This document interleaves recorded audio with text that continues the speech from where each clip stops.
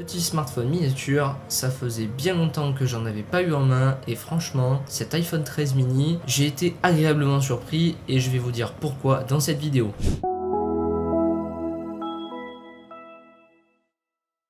Bienvenue mesdames et messieurs sur la chaîne de Tuto Phone et aujourd'hui on se retrouve pour ma revue de l'iPhone 13 mini. J'utilise depuis une petite semaine, il m'accompagne, c'est mon smartphone principal. J'ai pas mal de choses à vous en dire. Cette vidéo va se découper en trois parties. La première, elle sera consacrée à Certidil directement euh, par rapport au reconditionnement et au grade esthétique. Et la troisième partie, ce sera le test complet. On va commencer tout de suite par Certidil directement. Donc j'ai acheté cet iPhone 13 mini reconditionné sur le site de Certidil en grade parfait état. Et je vous recommande d'acheter au minimum dans ce grade esthétique pour éviter d'avoir de mauvaises surprises. Que dit Certidil sur le grade parfait état? Certidil dit qu'il s'agisse du corps du smartphone, de l'arrière, ou de l'écran, qu'il n'est pas censé y avoir de micro-rayures visibles à plus de 20 cm. Et quand on y regarde de plus près, eh bien ça semble plutôt être le cas. Si on regarde le contour du smartphone, on peut voir qu'ici il y a de légères traces d'usure sur le bas, de légères traces d'usure également sur le haut. Les côtés sont intacts quant à eux, l'écran est en très bon état, je n'ai pas vu de rayures ou quoi que ce soit. Et l'arrière est également intact. Aucun problème de ce côté-là, donc de ce côté-là, Certidil ne nous ment pas, c'est respecté, c'est nickel. Ensuite, ils nous disent écran 100% d'origine Apple. Donc ça, on peut le vérifier de façon très simple. En général, sur les faux écrans, on n'a pas le True Tone. Là, vous voyez que là, bouton de droite, on a le True Tone qui est activé. Donc, c'est un écran euh, d'origine Apple. Donc, de ce côté-là, on semble être bien conforme. Il doit exister des moyens plus, euh, plus poussés de pouvoir le vérifier, mais je ne l'ai pas vérifié de façon plus poussée. Je ne sais pas comment faire pour le coup. Si vous savez comment faire, n'hésitez pas à me le dire dans les commentaires. Donc, de ce point de vue-là, tout est nickel. Ensuite, ils nous disent batterie en excellent Et donc, si on se rend en réglage dans batterie, et dans état de santé de la batterie, on peut voir qu'elle est à 86% de sa capacité. 86%, donc c'est pas fou, hein, évidemment. Euh, ça veut dire que dans moins d'un an, il faudra prévoir un changement. Bon, ça coûte 100 euros chez Apple. Ça en fait un iPhone à 450, 500 euros selon où est-ce que vous le trouvez. Euh, ici, ce sera plutôt 500 parce que l'iPhone coûte à peu près 400. Il faut y penser. Ça peut valoir le coup de le faire. Vous verrez que déjà avec 86%, l'autonomie n'est pas dégueulasse. Ça, on va y revenir dans le test. Donc, de ce point de vue là, tout est conforme. Ensuite, ils nous disent que l'appareil est parfaitement fonctionnel. Ça, je peux vous attester que c'est bon. De ce côté-là, il n'y a rien qui flanche, tout fonctionne à merveille. Allez, c'est parti maintenant pour le test complet. Donc, on va commencer déjà par les caractéristiques et le design. Donc, ici, on est sur un iPhone 13 mini. Donc, iPhone 13 mini, donc on a une diagonale de 5,4 pouces. C'est un petit smartphone pour le coup, hein, vraiment très petit. Je vous mets mon Oppo Find X3 Neo à côté. Voilà, vous voyez vraiment l'énorme différence de taille, ça n'a rien à voir. Le Oppo fait limite un peu parpaing à côté alors qu'il est au final pas si épais et lourd que ça. Donc, c'est un smartphone qui euh, est très agréable à tenir en main, qui est très petit, très léger, très facilement manipulable. C'est vraiment du bonheur. Donc de ce point de vue là, si vous voulez un smartphone compact, ben, c'est clair que là vous pouvez être que content. L'avantage d'un smartphone comme ça, c'est que ben, on a un petit écran. Donc finalement pour se désintoxiquer un peu des réseaux sociaux, c'est une bonne chose qu'un si petit écran vous donne envie de passer sur un écran plus grand comme un écran d'ordinateur. Euh, d'ailleurs moi ça m'a permis de faire euh, passer un peu moins de temps devant mes écrans. Donc euh, ben, c'est plutôt une réussite de ce point de vue là. Donc l'écran, c'est un écran super AMOLED AMOLED 60 Hz, c'est un très bon écran, juste 60 Hz, mais vous voyez que derrière la fluidité n'a rien à envier à des smartphones Android 120 Hz,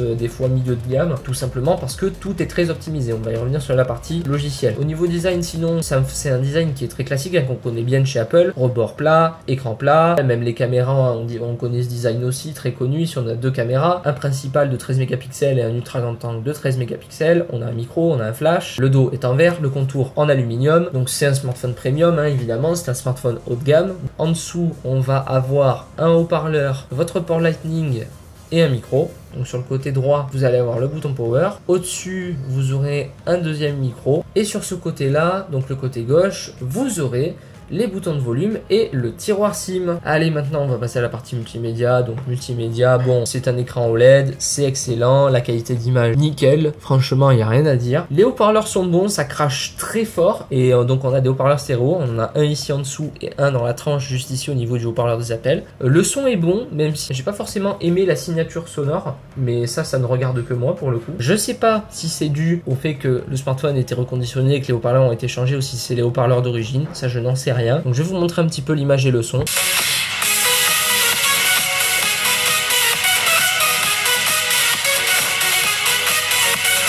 Voilà, donc voyez que la qualité d'affichage est tout à fait au rendez-vous, hein, l'image est belle, le son crache bien, mais en tout cas, pour consommer du multimédia, c'est un bon smartphone, mais comme j'ai dit, comme la taille d'écran est petite, ça peut vous permettre de vous dissuader de passer trop de temps sur votre smartphone et soit de passer un écran plus grand comme un ordinateur, ou bien alors tout simplement de moins consommer et franchement, je trouve que euh, de ce point de vue là, c'est un smartphone qui est cool puisqu'il permet d'assainir un peu son rapport euh, à l'écran.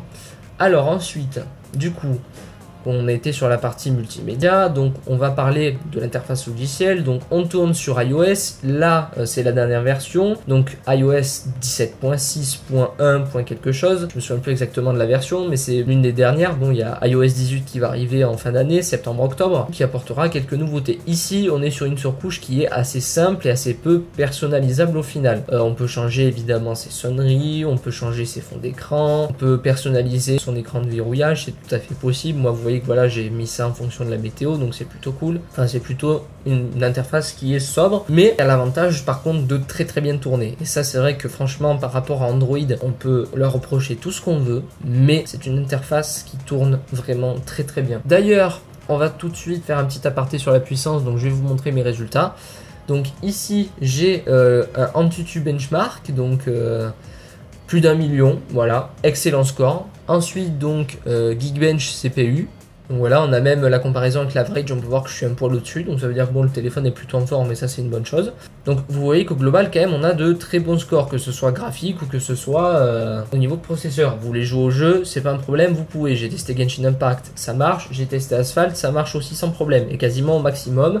Ça chauffe un petit peu, c'est vrai, mais parce que le téléphone est petit aussi, donc euh, forcément bah, la dissipation de chaleur est moins bonne que sur un Pro Max. ça va chauffer un peu, mais c'est pas non plus très très dérangeant. Comme j'aime bien le dire, des bonnes performances c'est très bien, mais si l'autonomie ne tient pas derrière, ben c'est un peu nul. Qu'on se rassure ici, eh ben, même malgré la petite batterie euh, de euh, capacité qui s'affiche à l'écran, que je ne sais plus exactement combien elle fait, eh bien l'autonomie est bonne. Donc là on est en début de journée, je l'ai débranché il n'y a pas très longtemps. Euh, donc la batterie n'a pas beaucoup baissé, mais globalement, sachez que avec une batterie remplie à 100%, pour arriver jusqu'au 10%, j'ai mis une journée complète avec 4 heures d'écran allumé.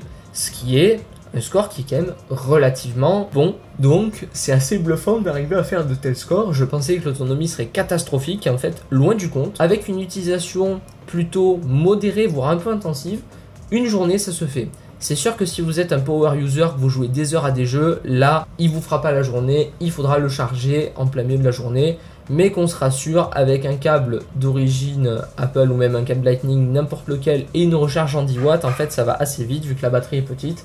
Et vous rechargez le smartphone à peu près en 1 heure, 1 heure et quart, voire 1 heure 30 si vous avez un chargeur un peu plus lent. Donc c'est pas non plus trop lent, c'est pas rapide, mais c'est pas lent non plus. C'est plutôt euh, correct étonné dans le bon sens parce que je, m'attendais vraiment à une cata complète mais, complète, mais non. Donc partie photo, on a trois capteurs, on en a deux à l'arrière, comme je l'ai dit, donc principal 13 mégapixels, ultra grand angle 13 mégapixels, et à l'avant selfie euh, de 13 mégapixels aussi, je crois. Je me serais corrigé si j'ai dit une connerie. Donc ces trois capteurs, qu'est-ce qu'ils donnent? Euh, déjà, faut savoir donc que le capteur avant, en fait, on n'a pas qu'un seul capteur, on en a plusieurs, mais un seul capteur pour faire des photos.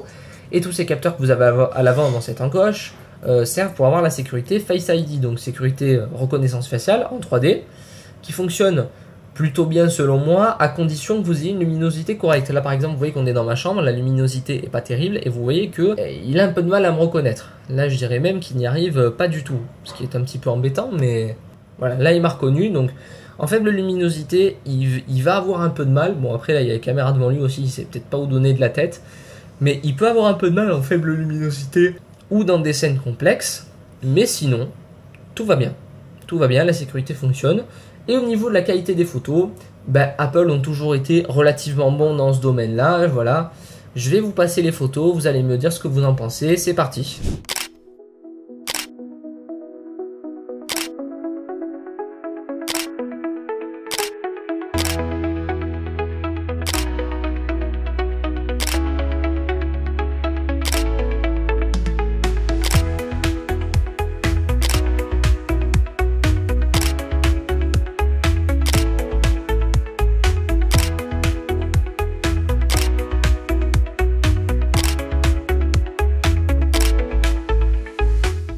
Ben voilà, n'hésitez pas à me dire ce que vous avez pensé de ces quelques photos. C'est vrai que j'en ai fait peut-être un petit peu moins que d'habitude, mais euh, j'étais euh, très occupé par euh, plein de choses personnellement, donc j'ai pas forcément eu trop le temps de faire beaucoup de photos.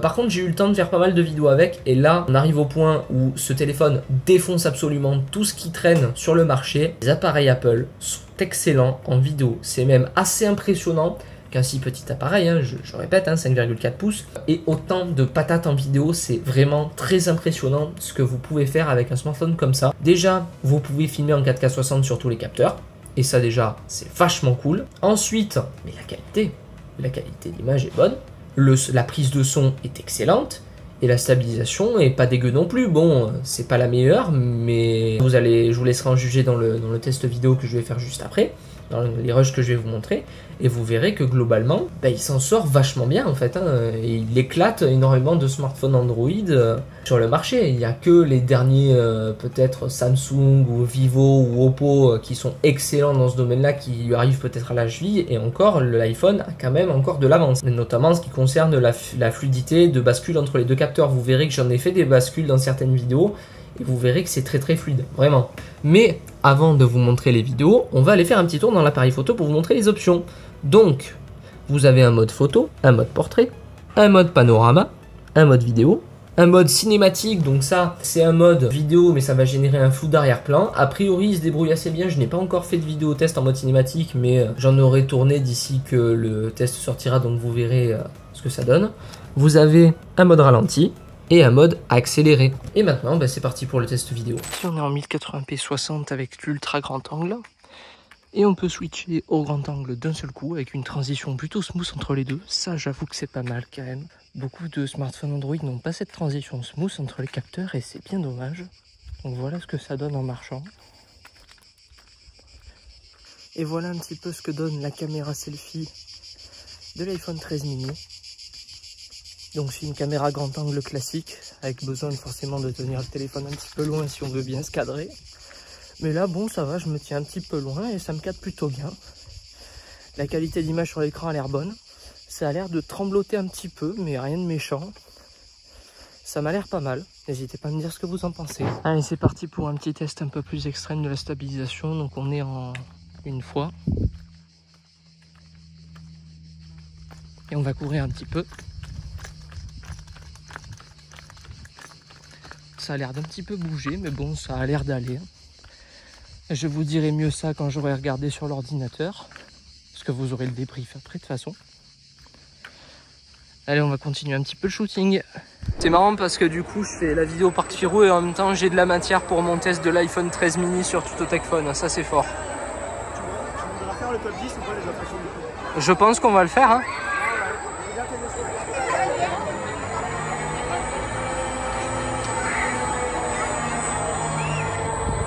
Ah, ils perdent la vitesse là, il y a du monde dessus.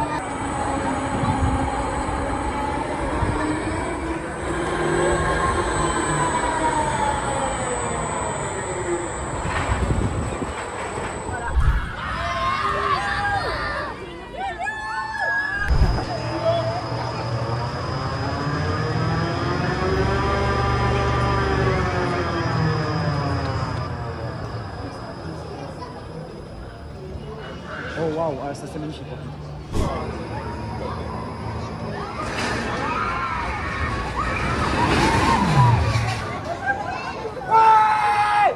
Après, original.